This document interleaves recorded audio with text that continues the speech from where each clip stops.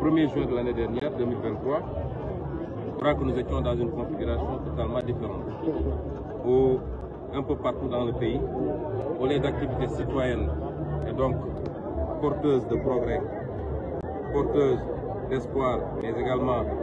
de, de, de, de plus-value pour les populations et pour la nation, on était confronté malheureusement à une autre situation où c'est peut-être des grenades lacrymogènes et des pneus qui, étaient, qui tonnaient ou qui étaient brûlés.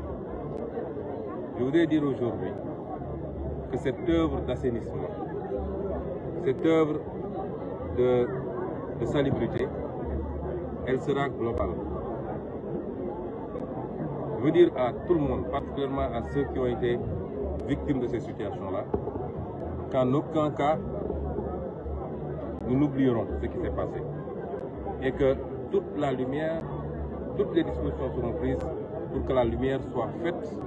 et pour que plus jamais nous ne soyons obligés de vivre cela. Et le travail d'assainissement, comme je l'ai dit, il est global. Pour aller vers certaines directions, il faut assainir la présidence de la République, il faut assainir la primature et le gouvernement, il faut assainir la justice, il faut assainir euh, l'administration, il faut assainir l'ensemble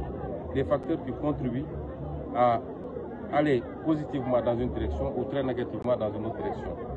C'est cette œuvre d'assainissement qui est en cours et je peux rassurer tout le monde